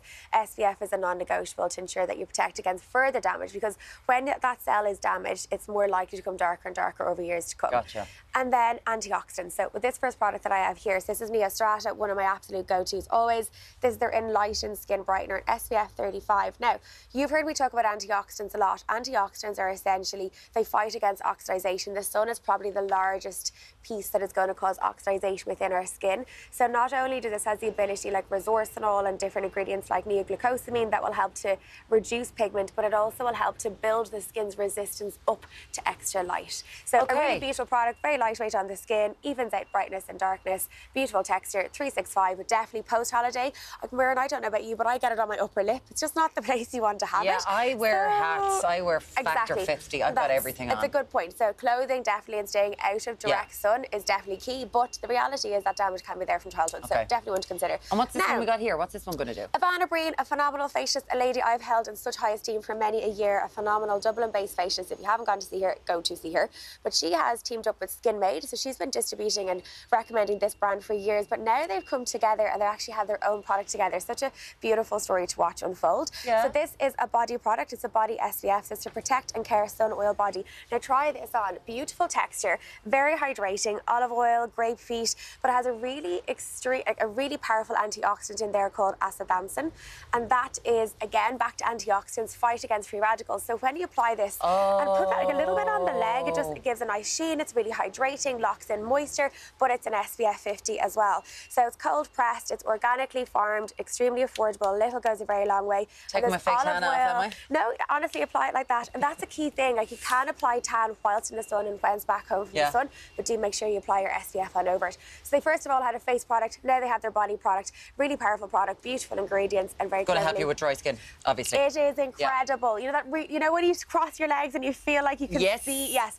divine force, but SPF in it also. Why are we taking gummies so, this morning? Novo Mins, yes. So I don't know about you, but when I come home from holidays, my nails on my like on my hands in Oh, particular, I know even. nails are not a conversation for you at the moment. I No. know, but this is something for you to consider. Now taste that and tell me how you find it. Honest answer. I would pop those like they're sweet. But you know what the frustration is at times for a lot of a lot. I'm always recommending supplementation. People don't like the feeling of it, the taste of it. They can't swallow it.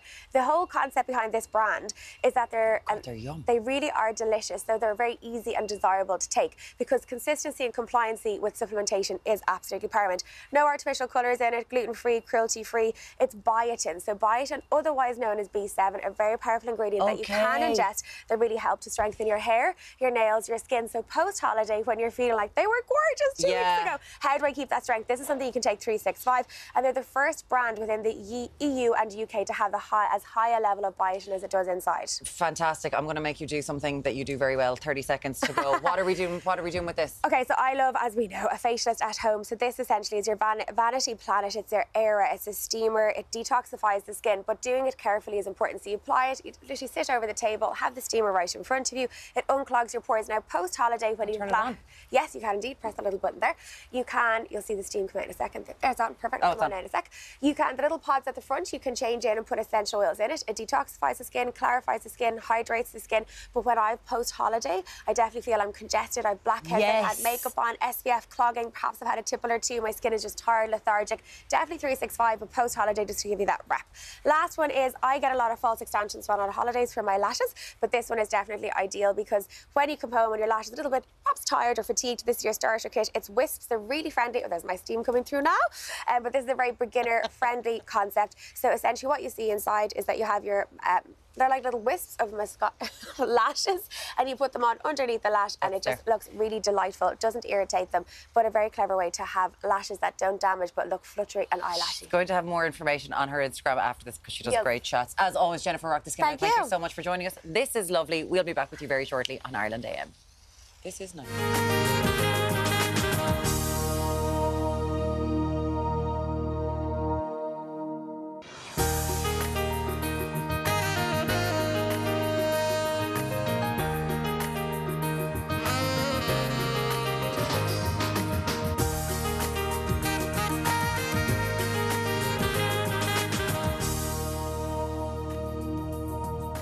Hello, welcome back to Ireland AM. Coming up, we've got catwalk colour combos, doggy diets, and a beauty boss. She survived Alan Sugar's boardroom and lived to tell the tale. Beauty entrepreneur Pamela Laird is dropping by at about quarter past nine this morning. Plus, Mandy Maher is here with looks for the catwalk. What have you got for us today, Mandy? Good morning. So it's all about colour combinations that look expensive, Muireann. Because Okay. sometimes people don't know what to put together, and we obviously have the colour combo here of the blues and the oranges that we see on Dervla. But I've gone for a lot of creams this morning as well, which we'll see later on in the fashion slot. That's lovely. That's cut really. Yeah, it works fabulous well, on doesn't it? Yeah, I love Yeah. the shoes as well. So we're going to have that in just a little while now. I was just outside.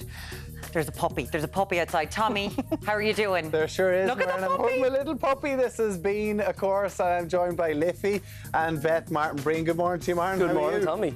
Uh, yeah, look, we're excited to be here. Great Uh, stuff. Well, listen, we're here to talk about, of course, overfeeding your pet. I have a Cocker Spaniel at home, and sometimes, particularly when it's barbecue season, I drop the odd sausage. Well, the kids do. Is that a. a, a You're, no? you're not the only one, no-no? and that's a no-no from the vet who's going to give out to all the, the listeners out and the, and the people watching that are giving their pets treats. And we'll just talk about the ones that maybe are a little bit of a healthier option, okay. and maybe the things to watch out for, especially for barbecue season, um, where the skewers can end up being really dangerous if left around. Um, you, would Oh, you'd be surprised okay. dogs like eating those as well. Yes, okay. so to watch out. Okay, okay, great stuff. I know I'm going to be told off in this segment. And puppy because, yeah, Oh, chinos. desperate. puppy chinos. well, listen, I do baby chinos with my daughter. I love a cappuccino, so puppy chinos. Puppuccinos, yeah, like there'll be lots of different trends online of, of what to give your pets, especially in the hot weather. So we'll be talking about whether they're safe or not, and maybe if it's suitable for your dog. Perfect. Okay, looking forward to that, Martin. Chat to you later on now from horses. No, dogs to horses. Deric's at the Curragh Racecourse, Deric. How are we getting on? Yes, Tommy, come here. Puppuccino sounds good. Send one down our way. Anyway, the rain just about holding off down here in the Curragh. Of course, we're talking all things uh, Derby Day in and around 9.10 here this morning. And guys, we're going to be giving this bad boy a go. I'll give it my best shot, okay? See how we get on. He's going to give it socks. He's going to be riding a fake horse. This is what you're going to want to see on Ireland AM in just a little while. Deric, we will talk to you very shortly. It is now. We compare 14 insurance quotes to get you the best deal. So choose chill and work smarter, not harder. Thank you very much, team. We're live down here at the Curragh in County Kildare. We're talking all things horses. We're talking all things Derby Day in the next few moments. So do hang with us for that. Now, slipping past nine o'clock here together, let's take a look weather-wise at how it's shaping up. And it is a bit of a shaky start to parts of the west and across southern sections of Munster. Plenty of showers now trailing around through parts of Galway into Mayo, down around southern sections of Cork and into Kerry. So stay nice and dry if you are living in that neck of the woods. The rain just about holding off elsewhere, but good deal of cloud cover and limited bright breaks. Now, right across today, in fact, that southerly airflow in the driving seat pushing up that rain. So bit by bit, any dryness is going to slip and we're going to see plenty of thundery activity out there today. Once again, some intense falls of rain. So very similar to yesterday, we're looking at that ongoing risk of spot flooding, surface water out and about on the roads too. So do be mindful if you're driving. Top temps of around 18 to 22 degrees. and Those light to locally moderate southwesterly winds. Finally, then tonight, the good news is that that rain dying back, mainly confined across western and northern coast. Elsewhere, we'll clear out some patchy mist, a taste of fog as well, feeding its way into your Wednesday morning with overnight lows back to around 8 to 13 degrees. So that's how it's shaping up for now. We're talking all things horses in a few minutes' time. Chill Insurance work harder so you can work smarter. We compare 14 quotes to get you the best deal. Welcome back. Now, earlier on, we asked you if the school holidays are too long, and the results are in with 62% of people saying no, they're not too long. 38% say that they do. 62% of people being teachers and students, I'd say. Uh, school holidays, way too long. I have a transition year student off since the middle of May and a second year student off since the third week of May-. Both myself and my husband work full time, and I know both kids are just sitting at Mm. home on their phones all day. Um, I once asked my brother in law why he became a secondary school teacher. He said three reasons June, July, and August. it's amazing. Bit right, It's giggles so that one earlier. uh, I'm a single mother, and while I work, uh, my son is in school. It's a nightmare to try and sort childcare during the school holidays. I only get two weeks holidays during the summer, so the rest of the weeks is pure stress when there's very little support available, and it's very expensive to pay daycare. And as well, like if the Gaeltachts and you have camps, like I remember just being horsed out to these camps. Yeah, yeah, yeah. And like go off there and do that, and it was painful, but you did it. But nowadays, like it's expensive. So expensive. So if you're a single mom, you don't have that money to be like, so I'm time. finding cool No, camp. even a single crazy. mum, any people Anyone. who are oh, yeah, struggling at the moment. Absolutely. Uh, we were also talking about uh, the LGFA, the fact that they are going to play under protest because they're looking for the bare minimum of standards. You know, to be able to play on a pitch is kind of what they're asking for. Uh, the GAA players. My youngest daughter has played twice in Croke Park with her club and county. She has never played in her own county grounds, which is Netwatch Cullen Park in Carlow. That's the girls. They've never gotten to play there. Sad, isn't it? Uh, I manage a camogie team in Kildare and had to move a championship match, like lose home advantage, so that the senior hurlers could have a pitch for a training session. What? They they always get they always get first preference, and Camogie are doing better in the club than the hurling, but that's the lads getting for a training For session. a training session. Mad, That's bad. We were Um, talking as well about kind of public harassment and this program that's involved. Uh, Louise Reynolds, so interesting. I UCC, to see a amazing, yeah. bystander program, intervention program, whereby if you see something, you kind of call it out because people can freeze in those situations. A message here that says, I was out one night around 15 years ago in a nightclub. I was on the dance floor. A lad came up to me and literally grabbed my breast very roughly. And then he said he was checking to see if they were real. I hadn't been speaking to this fella at one stage during the night to say I was shocked is an understatement. I was in my early 20s at the time and I still remember it like it was yesterday. And you just stand there and you don't know what to do. I 'cause you kind of freeze. freeze. Uh, and that's what Louise is saying as well. And Deric's just said if you see it, if you witness it, make sure you report it as well. Um, listen, thank you so much. We have a huge amount of messages there on all Yeah. these different topics tomorrow. It's been really, really interesting chat. But And now- we'd love to keep on going, but we think you want to see the next Yeah, thing. well, we all we want to see to see this. Uh, Deric is at the Curragh race course this morning, and uh, but he's going to give us a lesson in something. Deric, take it away. Yes, guys, I am, of course, waiting to see what we have in a few moments' time. Anyway, welcome down here to the Curragh in County Kildare. We're talking all things horses uh, this morning in the run up to the Dubai Duty Free Irish Derby kicking off here on July the 2nd. Evan Arkwright is with us, also Clodagh Fleming. And we're going to start off with you, Evan, because it's a big day in the Irish racing calendar. Huge day, big preparation going on, Deric, as you've seen all morning. Uh, 30th of June to 2nd of July, everything builds to the weekend to the Dubai Duty Free Irish Derby. Probably the most prestigious race we run here in Ireland. Big world exposure and a really brilliant weekend. There's lots for everyone, Deric. Style, music, fun, uh, great entertainment for families, but at all the core is, is the racing. The racing. Now, this is a grade one race, so there's, there's high stakes. Big high stakes. Runners, uh, you know, best jockeys, best trainers coming over. Something that Ireland should be really proud of. We hope lots and lots of people will come out. What's going to be a fantastic weekend. The race is celebrating 158 years. Great history, amazing winners, uh, and this year looks like it's going to be a tremendous race. So we hope plenty of people come, and then all go into Kildare Town as well. Kildare Town have a big festival also going on uh, during that weekend. Nathan Carter playing a live gig there in the square on the Saturday night. So the whole community get behind it. And by the way, the course is looking absolutely 30 smashing out there. Yeah, it is. The lads have done a really remarkable job. Richie and his team. Uh, it's a fantastic track. It's hallowed ground, as I think we said earlier, um, and that's uh, the best horse will win on the day, and, it's- that's the most important It's flat thing. and it's fast, which is what we love. Now, Clodagh, you're looking after all the mouths here. You have a lot of them to feed on, on race day. We sure do. We are at full capacity now for the weekend with um, over 1,500 um, guests in hospitality. Um, with that, we'll have about 420 s- wait staff as well as 25 chefs led by um, Mark Usher, um, guaranteeing that they'll have the best culinary experience possible. What are we talking food wise then? Well, preparations are already in full flow. Um, we will likely have um, about one and a half tons of vegetable and potatoes being prepared over the next week, about nearly 2,000 burgers, um, just to give you a couple of, of items that will be, in, uh, be prepared over the next few days. Um, on top of that, we'll anticipate about 36,000 pints of Guinness, 4,000 bottles of beer, 8,000 soft drinks, 4,000 A teas and thirsty bunch, coffee. right? yeah, so a busy, and, busy and a big focus on sustainability too. Absolutely. Uh, um, not only that, but we also focus on supporting local. So by using local produce, we also manage to reduce our carbon footprint. Where can we find out more online, by the way? Curragh.ie, lots of special ticket offers available on Curragh.ie for the three days, the 30th of June to the 2nd of July. Right through until the 2nd of July. Anyway, we're going to pop over here. Lauren has got my silks here. We're in the pink and green here this morning, and we're going to button up here. Hopefully, you like what you're going to see now. We've got the helmet here as well. So, I'm going to get up on this little horse simulator. This is the first time for me, bearing in mind I'm from a farm down in Limerick. Now, Tommy and Word, can you see me there, guys?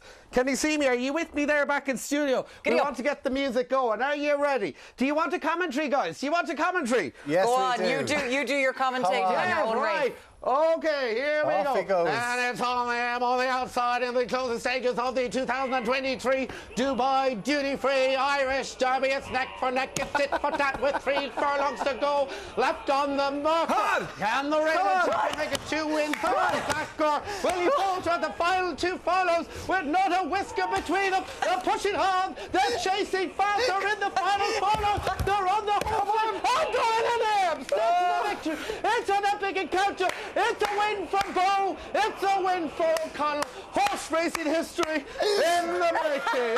There we go. Love it. Right. Love it. Well done, Team Ireland. Love it, Deric. What on an he was he was the jockey, the trainer, the horse, and the commentator. I mean, he did absolutely now he's everything. plastered. And he doesn't There we go. Uh, it's Deric. Absolutely class. Well done. Tell you, commentary's the way forward for him. I'm isn't not it? even joking. Virgin Media, can you sign him up so that we can hear what he's going to do? I don't care if he sounds gets any just of the names right. Oh, I love Deric. He's just so funny. Thank well Deric. done. And uh, all co- the the Dubai Duty Free, of course, on June July second as well. Make sure you go. Now, after the break, entrepreneur Pamela Laird is going to be here, and we're not going to be talking horse racing. We're going to be talking about running a business and returning to college. See you in a few.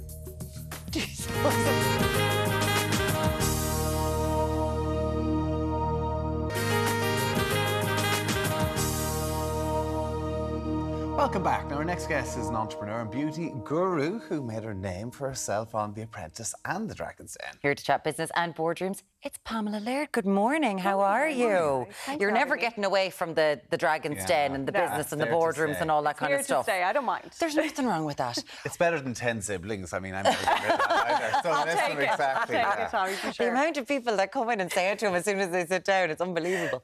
But for you, makeup was something that you got into from a really, it's become your life, but a really early age, right? Just like copying celebs or whatever we do now. Like, Totally. I think my mum having a beauty salon when I was growing up, just it was there and I loved everything about it. And yeah, I think we were unlucky with the trends at the time. Luckily, there are no photos. I think we were very lucky to not have social media, but the blue mascara, you know, the glitter eyeshadow, the foundation lips. Yeah. the foundation lips and What's, then the what's lip a foundation lip? you just you put foundation on, you'd have no lip Why would colour. you? So you've no. colour. oh right. No colour. No I don't know why. I have no idea why. It was a trend. But are these trends not all coming back again, kind of due to TikTok? They are coming back. I think they're a bit luckier than we were at that age. The makeup's better, the technique, step by steps are there on TikTok. And I think we tried to recreate celeb looks, and I don't know if it worked very well. Or just putting that line there. Just do nothing. Oh, my neck doesn't exist. I'm just going to be completely different. My neck doesn't. You can't see anything underneath this. It's fine. I can put on whatever makeup I want. Sure, you're young. You have to experiment with these things, don't you? That's what happens. There you go. That's you to experiment. Did you? Blue eyeliner. Going crazy for it all. Tried to cut my hair. Um, it is weird in your industry, though, what can happen because of TikTok. Like, I was talking to someone the other day and she was like, oh, we can't keep. And I think it's an Elizabeth Arden eight hour cream in the pharmacy in Mullingar because someone liked it on TikTok. And it's teenagers buying this. Is that not Prince Harry? Was in That, was- that was him as well. That was well. another, another Yeah. influencer. Okay. Yeah, another influencer. But it's amazing. Yeah, I know it is. And I think it's great. You know, it's really accessible. People are looking for authentic voices on TikTok. I mean, anybody can pick up their phone, share their story of why they love a product, and that can take something viral overnight. But that's pressure, right? Because then you're kind of like, I need to get my product into someone's hand who's going to say something, and like it is, it's because it can it can all be a bit of nothing.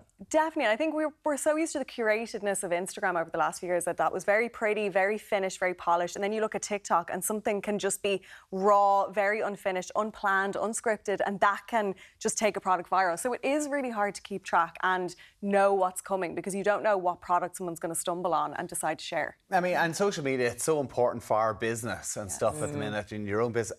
Like, there's a lot of talk at the minute with leaving cert and school, whatever else. And you spoke quite openly how school didn't really suit you. That, And you didn't initially, when you left school, didn't go straight on to like next level education. You decided to go in to set up your own business. That's right. Do you think that you know schools teach people the right tools that they need for life after? You know, is it too heavily focused on learning things then? I think it is, honestly. I felt like I had no place in academia. I just felt like I didn't fit in. I really wanted to work and things that I was learning, even business. And I was trying to see how I could apply that. And I couldn't really figure out how the theory applied to the actual reality. And so I said, no, not for me, no college. And I went on and just ran my own business. So I do think there's a bit of a gap for people who don't feel naturally mm. academic, but have a natural graft for business. And so obviously now I'm back around and I'm in university now. See, this is the thing. You set up your own business, right? Really young, Moxie Loves. You've done like The Apprentice, all that kind of thing.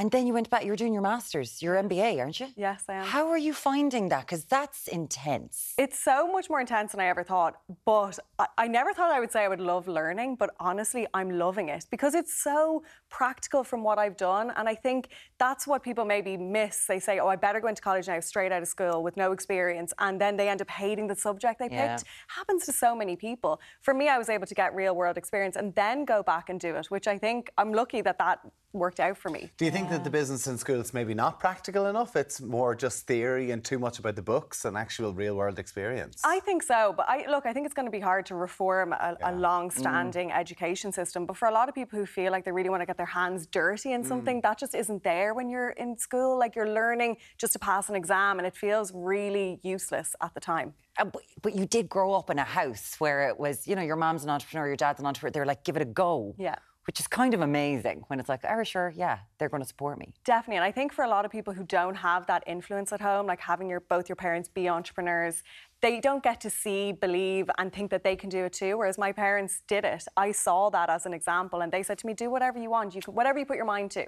So I know for a lot of people in school now doing their leaving cert, it can be difficult because they're like, "What am I going to do?" You know, they don't have that example next to them. I've- And listen, there's so many people who are doing exams at the minute. You know, those exams and school doesn't fit everybody. And once you get those exams out of the way, you know, the world is your Yeah. oyster to go out and find yourself as well. Listen, you, we saw a picture of you and your lovely dad there as well. Last time you were on talking, you were on talk about his dementia diagnosis. I mean, how, how is, how's he getting on? He's okay. I was saying to you guys just before that it was Father's Day at the weekend, and you know, to see that glimmer of my dad again giving him his Father's Day card was really lovely. Because sometimes you think, oh, is he going to know? Is he going to, you know, be able to tell what day it is? And so yeah, it was a really, really nice moment. He's like, "Am I a number one dad?" You know, the card said number one. So yeah, it's tough. It's tough, but that was a nice, a nice moment. Because he's coming up on nine years diagnosed Yes. with Alzheimer's. He lives at home with you and your mum. Yeah. What, like the day to day can't be easy. Like watching your dad kind of go away. Yeah, it's it's so tough, and I think for the person I've said this before with Alzheimer's or dementia, they can be blissfully unaware at times. You know, there are there are moments of confusion, but often they're quite content, and it's really the families around the person watching them kind of disappear. It's extremely tough, and for my mom, who is his carer, that is so tough for me to see her um, lose the person she loves, you know, because they're there, but they're not there, really. And the support that carers get as well, like it. I mean, it's their full-time job, you know. And even you said letting him get away, but she can't really be the person she wants to be as well all the time because she has to be home, Totally. or has to get you in to help or someone else to help. It's very difficult. It's so difficult, and I don't think people realise that family carers didn't know that this was going to happen. This is something that they've fallen into, and while we're lucky to have them at home, it's very difficult for carers. It's hard Mm. for their own; they don't have their own life in the same way. Now, my mum did find a lot of help with the Alzheimer's Society. She did do a carers course with them, so there are supports there. But it's still, I think, toughest on the family rather than the person suffering. That's And there's tens of thousands of families who are living with this. Yes. Watching their loved one go away as the as the loved one doesn't know. There is a memory walk. I know that you do this every single Yes. year. For that, is, is it September 24th? That's right, September 24th, and this will be my third year being an ambassador Yeah. for the Alzheimer's Society. And I'm just so thrilled to put a spotlight on a charity that often doesn't get as much attention because I think there's a bit of taboo and people don't like to talk about dementia. It's upsetting, I understand, but I think it's really important. Um, and the Memory Walk's fantastic. You can register on memorywalk.ie. Go out with your family. There's 30 locations across Ireland. So pick the one closest to you, grab a family member, grab the dog, and get out and raise some much needed funds for a great charity. Fantastic. And as you There's so said, much. tens of thousands of people who are in this situation across Ireland as well. Listen, yeah, the Memory Walk, 24th of September. Make sure you look it up. And of course, your the business Moxie loves is flying as always too. I know the last time you were here, Busy, you were heading busy, off busy. to college. You heading off to college again today? I'm doing a few assignments. She's doing a few I am She's working. busy. She's got stuff to Working do. from home today. Amanda Nice. Larry, thank you so much for coming in and chatting to us. You're so good.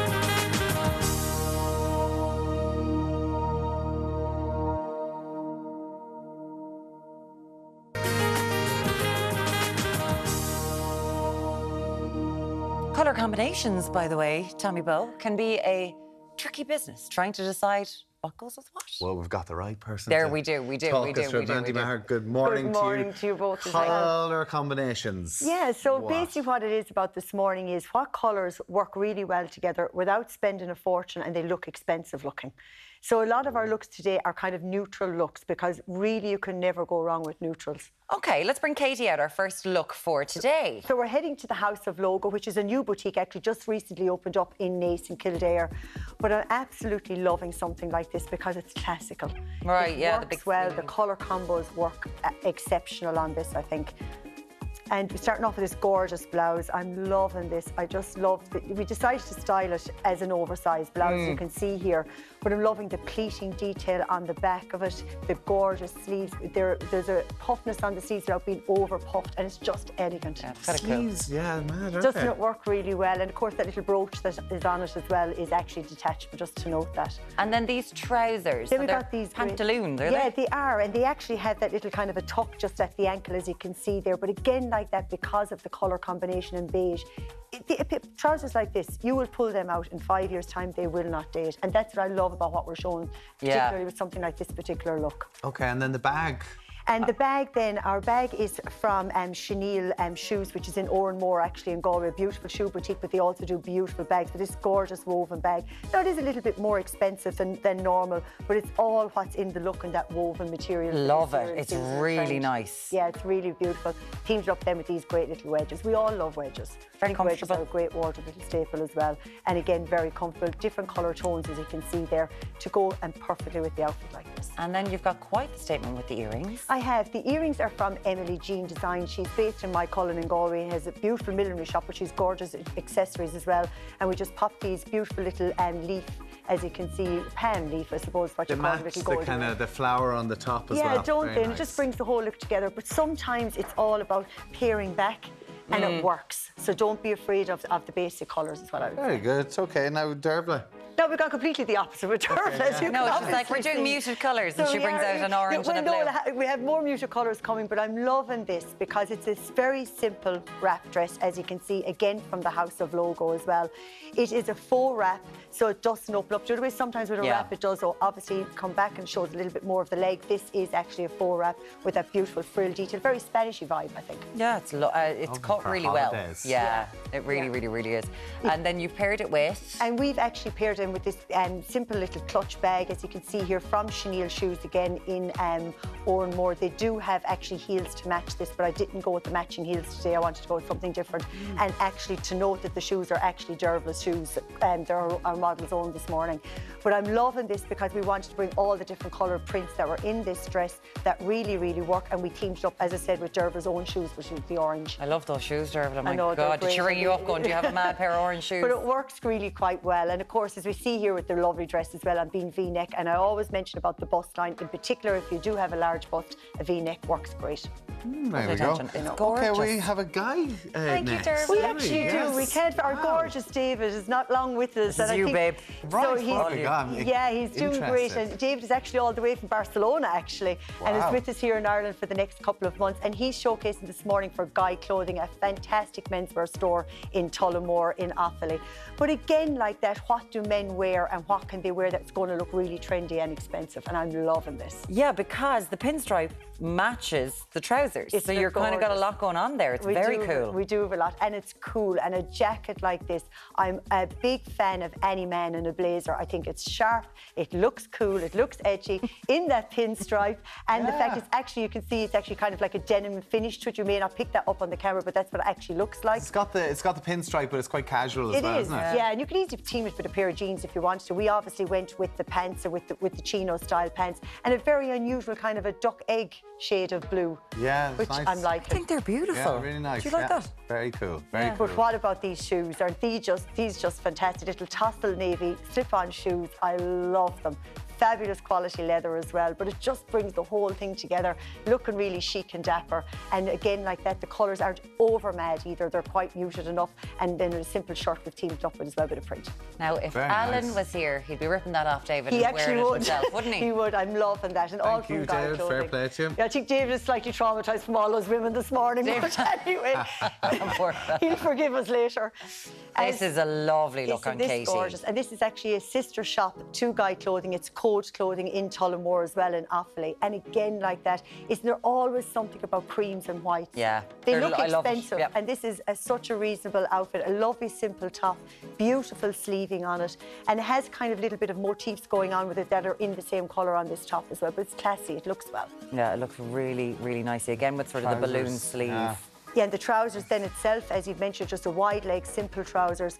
And again, like that, in the beige, they just work a multitude. You'll always have them. They go with so many other pieces you already have. Una Healy's clutch, you rocked it Una off her. Healy's, I rocked Una Healy's clutch, gorgeous little sequency, kind of shimmery um, little clutch bag.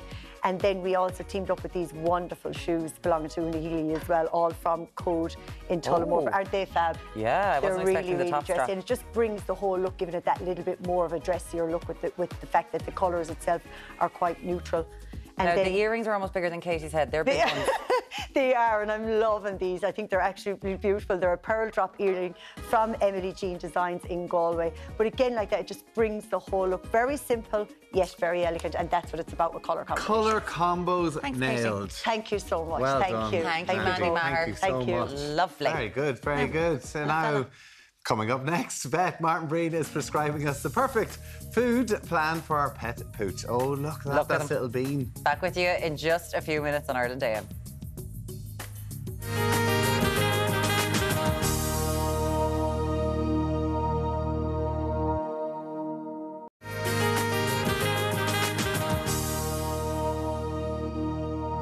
Now you're very welcome back. It is the final part of Ireland AM where we're going to try to make not make a dog's dinner of talking Dogs, dog's dinners. dinner. That's what we're going to do. Uh, and walking us through the do's and don'ts of doggy diets is vet Martin Breen. And we've got Liffey here, and we've got Little Bean Beans here. here. and Beans going absolutely mad. Okay, listen. Are we over? People are overfeeding their dogs. We have to like do, when we're talking about dog sizes? We've got to feed them proportionally, right? Feed them proportionally. There's there's no set amount for you know for every dog. It'll depend on their their breed, their age, how active they are. You know, if you've got a really active dog running around there all day, you know, out maybe working, then like a Springer Spaniel, then they're going to need a lot more food than a big old lab that's just sitting on the couch and just mooching around after you.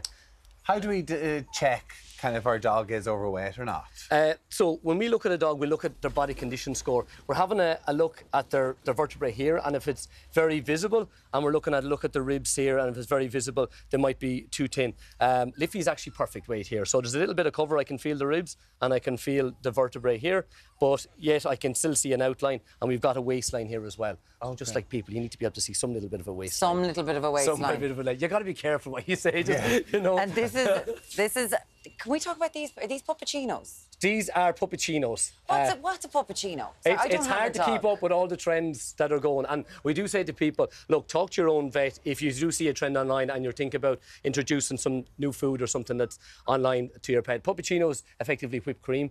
It, it started in America with Starbucks. Yeah, with pup cups and everything. Yeah, so they were doing it as like a secret treat. You could go in and ask for uh, the, the puppuccino. Uh, a lot of the time, look, at it's a dairy product, it should be fine, but people mightn't realise where it can get a little bit tricky is if it's a non dairy product and there's artificial sweeteners, there's a, an ingredient called xylitol, which can be toxic to dogs, and people mightn't realise that. So to be careful with it, you know. Okay. Um, So puppuccinos, like you see all these cafes are trying to get people Yeah. uh, like frozen, like you see like frozen ice cream almost as well. I've seen dogs like Yeah. licking it, particularly with the hot weather. Uh, Look, a lot of dogs will tolerate uh, dairy products, but there are some dogs that are lactose intolerant, and you know you could end up with your dog having vomiting diarrhea, you know, passing smelly wind. So you need to figure out. Do you want to try it? Talk to your local vet. If, if it's something you want to try, maybe do, just do a very small amount at the start, oh. just in case they have a little bit of reaction. Okay, but they can, like just like cats are kind of lactose intolerant, dogs can be as well. Dogs can be lactose intolerant, yeah. Does it yeah. depend on breed or depend on No, animal? it can be any dog. Okay, it can be so any dog. And then we have to be careful because some dogs can have underlying conditions where if we're giving them dairy products that it may be a little bit higher in fat, it could trigger off. Them to- They get quite sick. There's a particular condition called pancreatitis. I can see that this is a treat toy. This is a treat toy. Right. Filled with peanut butter. What do you make of these? They're good to distract dogs, but everything in moderation, isn't it? We don't want to give them a, a jar of peanut butter because then we end up either with a sick dog or again, if, if you know, they can be high in fat. But these are very good to distract them. Um, they Particularly can. when people are going back to work or they are Exactly. working from home to try and kind of keep the dogs active. Now, of course, Liffey, it'll be too posh and probably. Would you want to sniff of that? Does that smell good?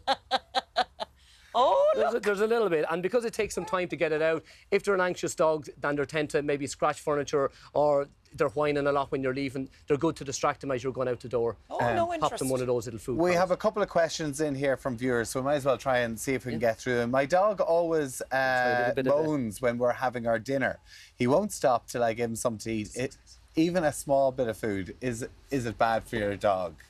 A So small- from the dinner table. A small bit is, is fine. Again, it's in moderation. But what you're doing is creating a habit there. And dogs are such creatures of habit that they'll then learn if I whine at the dinner table, I'm going to get more treats. So they'll just then sit and beg continuously. So we do advise get better off getting them used to eating in a separate room, put the food ball somewhere else. Separate room. In separate rooms because. Uh, so when you have your dinner in one room, they eat at the same time. They, you they eat at the same time, but in a different room. If they're getting very anxious, you can start off by having the door open between your room and their Oh. room if possible, and encouraging them by maybe giving them a little treat. Then What about this one? Uh, what what ingredients should I avoid or look for with dog food?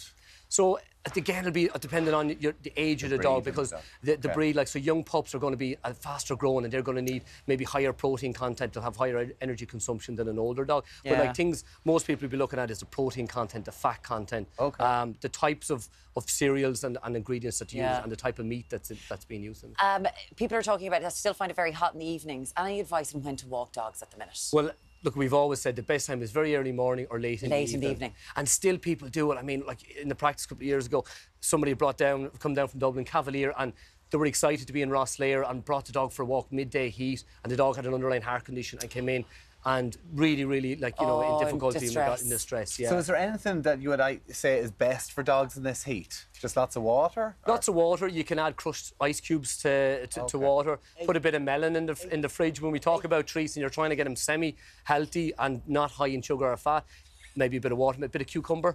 Okay. So you can get very Oh, fancy. cucumber. I love that. I love the way Nice Liffey's looking at this one going, that one won't shut up. there." Martin Breen, you're as good as gold. Thank you so much for coming No in. We'll talk to you again up. soon. Yeah. Thank you so much. Li- Liffey is And by the available way- at the moment. Thank now, you, if anybody would like a lovely dog, she's so gorgeous, so or he's so gorgeous, so But so cute as well. Whereas This being here, good mad. luck whoever's adopted. Bean. Anyway, coming up on tomorrow's Ireland AM social media star, James Kavanagh is going to be here chatting to us. Yeah, and we've got your usual news, sports, weather. A woman, I think, who's married to an AI chatbot. A chatbot. Talking who to her tomorrow. romance is dead. Talk to you then See you from tomorrow. 7. Bye.